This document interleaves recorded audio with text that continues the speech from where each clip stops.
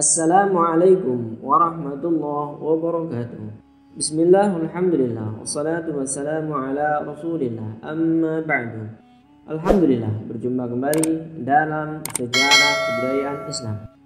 Adapun materi yang akan kita pelajari pada pertemuan kali ini adalah hijrah Nabi Muhammad ke Madinah. Hijrah berasal dari bahasa Arab yang berarti meninggalkan, menjauhkan diri, dan berpindah tempat. Dalam konteks sejarah hijrah, hijrah adalah kegiatan perpindahan yang dilakukan oleh Nabi Muhammad SAW bersama para sahabat dari Makkah ke Madinah dengan tujuan mempertahankan dan menegakkan risalah Allah berupa syariat Islam. Secara garis besar, hijrah terbagi menjadi dua, yang pertama adalah hijrah makaniyah, yaitu meninggalkan suatu tempat. Selama masa kenabian, peristiwa hijrah makaniyah terjadi tiga kali.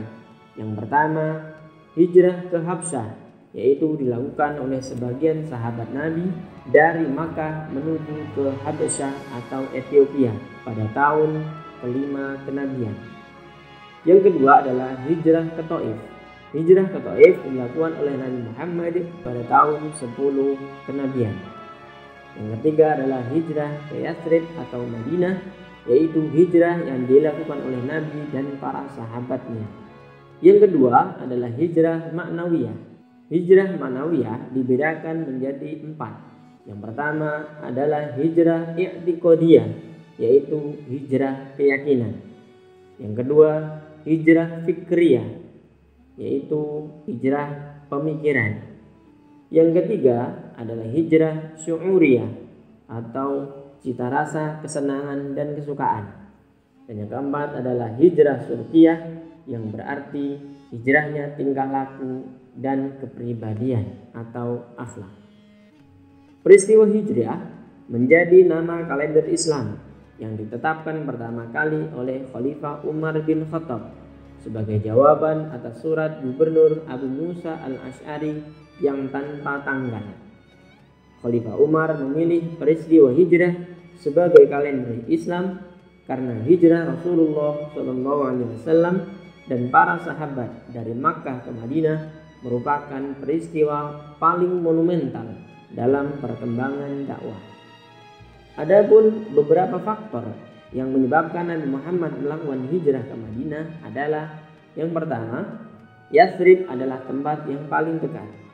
Yang kedua, adanya hubungan kekerabatan antara Nabi Muhammad dengan penduduk Yathrib, yaitu kakek Nabi Muhammad Abdul Muthalib beristrikan orang Yathrib. Di samping itu, ayahnya yaitu Abdullah dimakamkan di Yathrib. Yang ketiga, Penduduk Yasrib dikenal Nabi karena kelembutan budi pekerti dan sifat-sifatnya. Dan yang keempat, bagi Nabi sendiri, hijrah merupakan perintah Allah.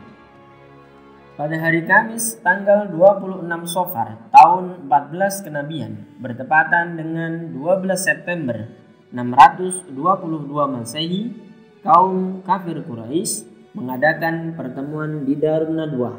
Dari hasil pertemuan di Darun Nadwah, menghasilkan beberapa usulan terkait tindakan yang akan mereka berikan kepada Nabi Muhammad. Di antaranya, yang pertama, membiarkan beliau sampai hijrah ke Madinah dengan sendirinya. Yang kedua, memenjarakan Nabi Muhammad atau yang ketiga, menghilangkan nyawanya. Akhirnya, para pembesar Quraisy memutuskan untuk menghilangkan nyawa Nabi Muhammad dengan setiap suku diwakili satu orang pemuda yang paling kuat untuk membunuh Nabi secara bersama-sama. Sehingga ketika Bani Hashim ingin menuntut balas, maka mereka tidak bisa menuntut seluruh kabilah tersebut. Sampai pada suatu malam, para Al-Gujum mengepung rumah Nabi Muhammad dan hendak membunuh beliau.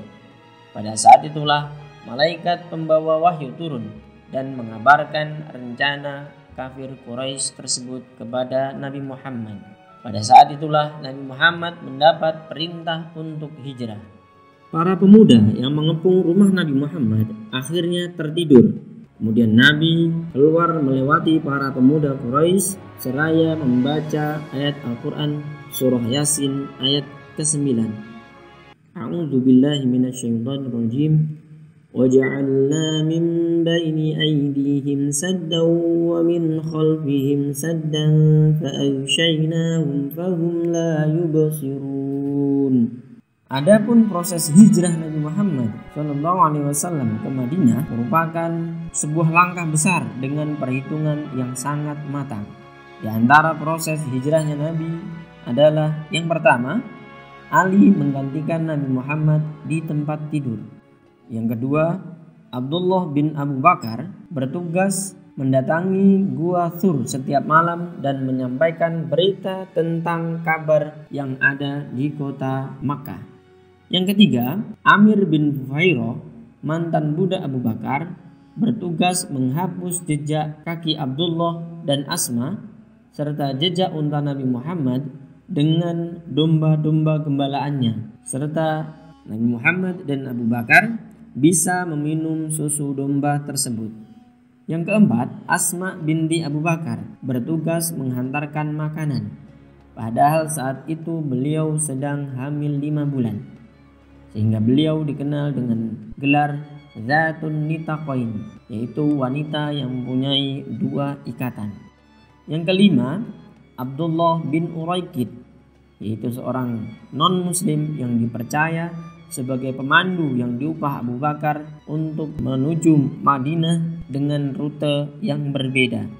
Dan yang terutama adalah Abu Bakar As-Siddiq yang bertugas menemani Nabi Muhammad dalam berhijrah.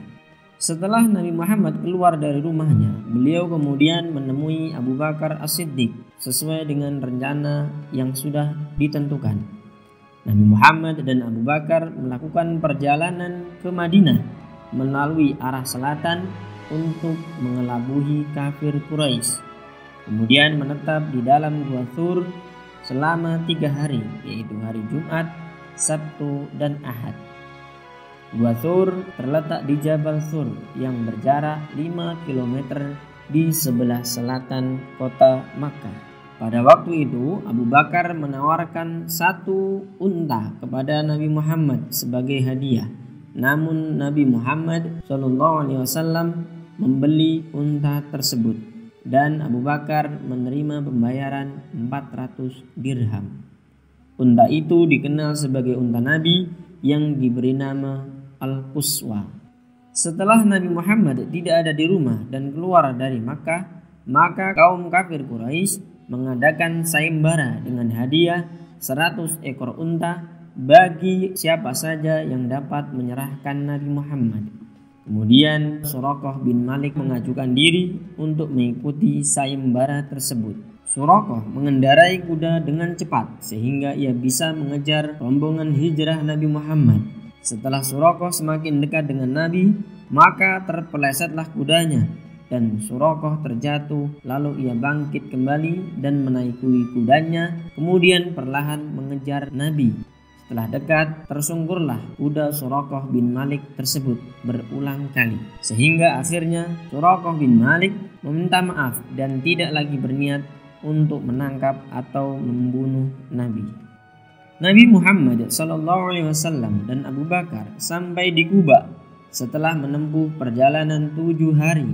Kemudian beliau tinggal selama empat hari di Kuba dan membangun masjid pertama dalam sejarah Islam.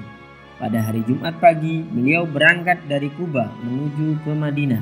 Ketika sampai di perkampungan Bani Salim bin Auf, waktu sholat Jumat pun tiba. Nabi Muhammad SAW melaksanakan sholat Jumat di perkampungan Bani Salim bin Auf. Ini adalah sholat Jumat dan khutbah pertama dalam sejarah Islam, yaitu sholat Jumat di perkampungan Bani Salim bin Auf. Tepat 16 Rabiul Awal atau bertepatan 20 September 622 Masehi, Nabi Muhammad dan Abu Bakar disambut sukacita oleh segenap penduduk Yathrib dengan sambutan tabuan gendang rebana disertai syair Tola al-Badru alaina.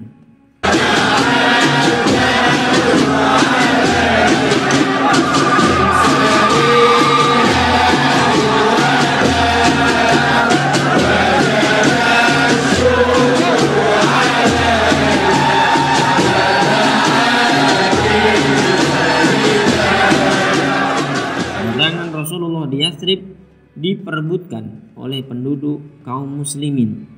Namun Rasulullah meminta biarlah untanya sendiri yang menentukan di mana beliau bertempat tinggal.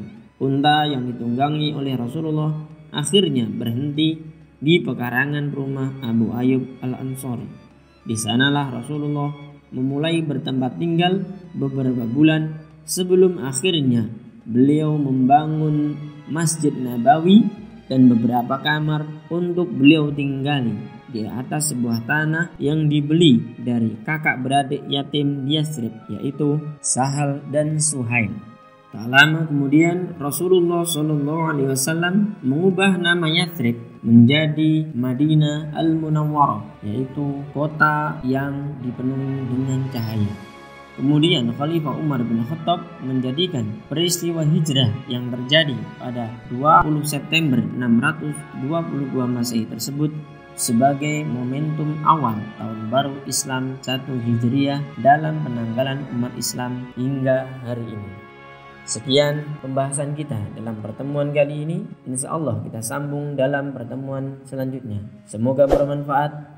Jangan lupa subscribe, like, dan share. جزاكم الله خيرا كثيرا. والسلام السلام عليكم ورحمة الله وبركاته.